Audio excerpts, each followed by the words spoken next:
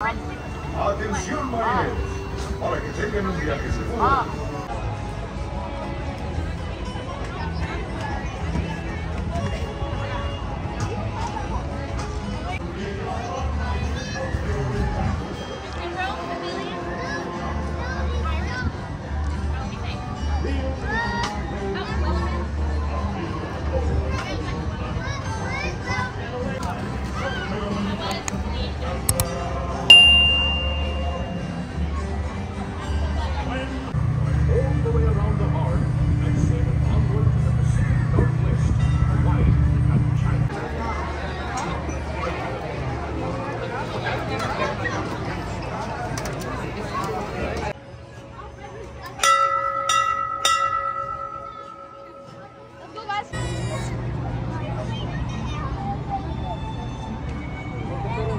Shipmates! We're just clearing the busy port of New Orleans and beginning our journey into the great American wilderness.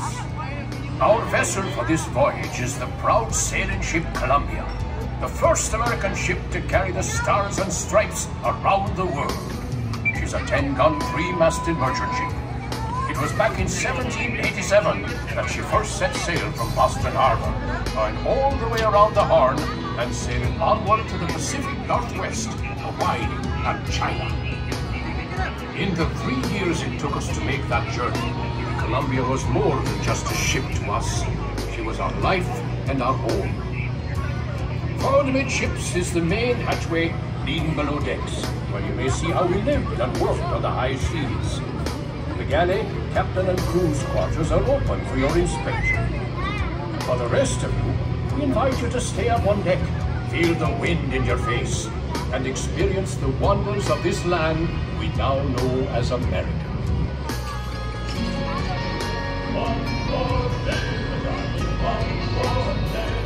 Columbia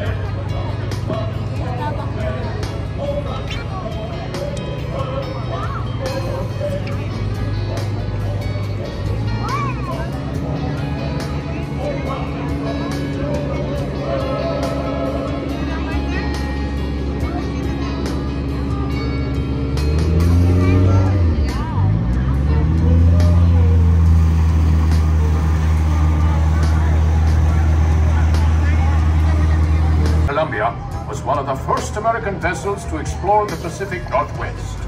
It was in 1792 that this very ship braved a sandbar and discovered a mighty river, which we named the Columbia, after the first ship to sail our waters.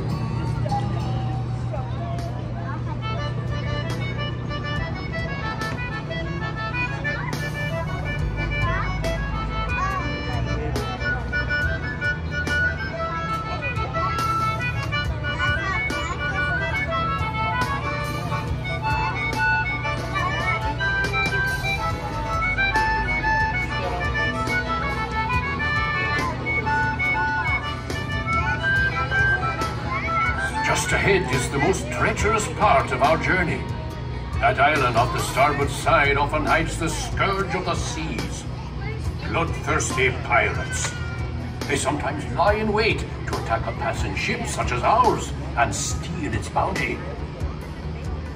Bowman, man the starboard forecastle cannon and prepare to fire a warning shot, so as any curious pirates hiding near the shore will know we are well armed. Those of you round the cannon best be stepping back, way back, for the cannon should be a mite loud, and the gunner's aim be a mite poor. Be ready to fire one!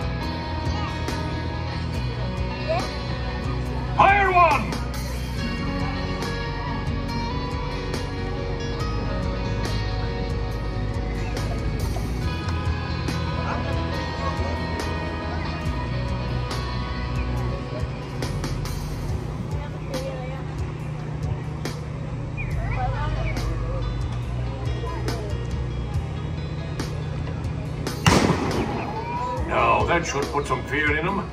Looks like we're safe for now, but I ask all crew and passengers to keep a weather eye out. We don't want the Jolly Roger flying above this fine ship.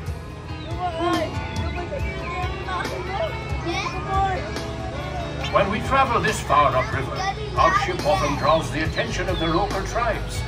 But look there, the chief has given us a sign of peace, which means we will be granted safe passage.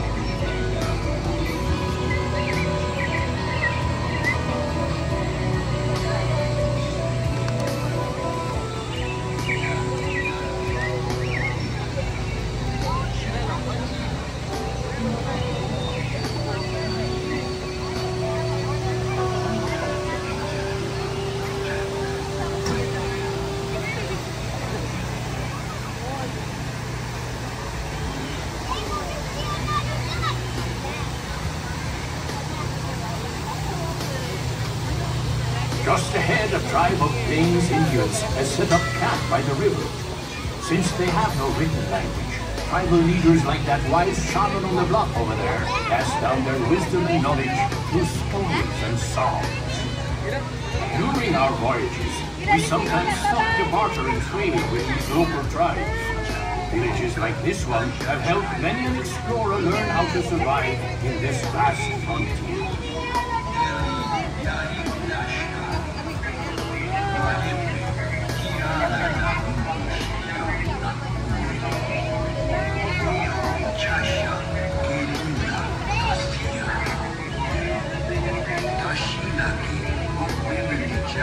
Well,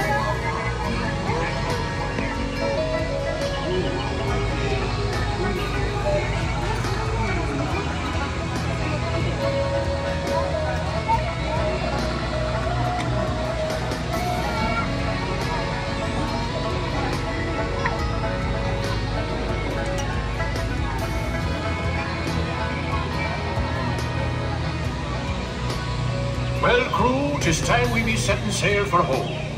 Hold taut the flying jib, brace for a starboard tack. Cook and helpers stand by the box. Shipmates, if you haven't done so, it is a good time to visit the crew's quarters below decks to see how sailors of the 1790s lived and worked while on the high seas. The lower decks will be closing when we enter port. Those of you remaining on deck, keep a close eye on the riverbanks, where you may be able to see moose, elk, and other wildlife.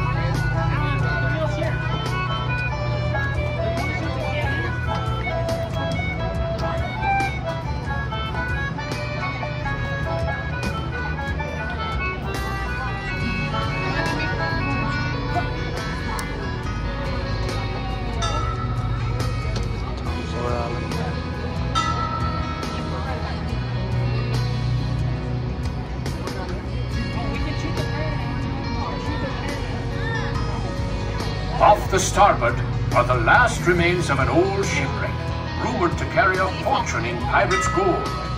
It lies in Smuggler's Cove, a place of dark and dangerous deeds and secret midnight meetings. We'd best be sailing past this cove and back to civilization.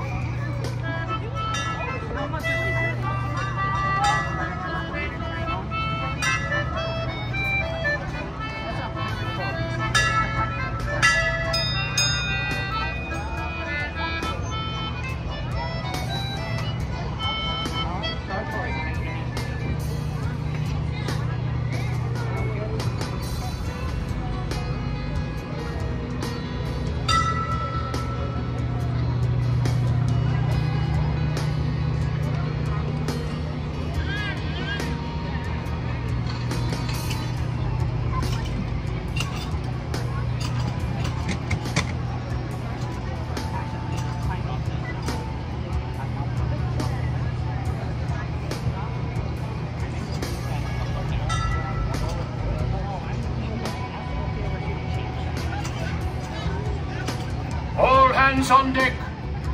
Stand by to go ashore.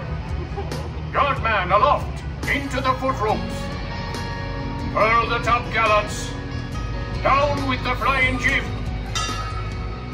Make ready the bow anchor. Stand by all lines.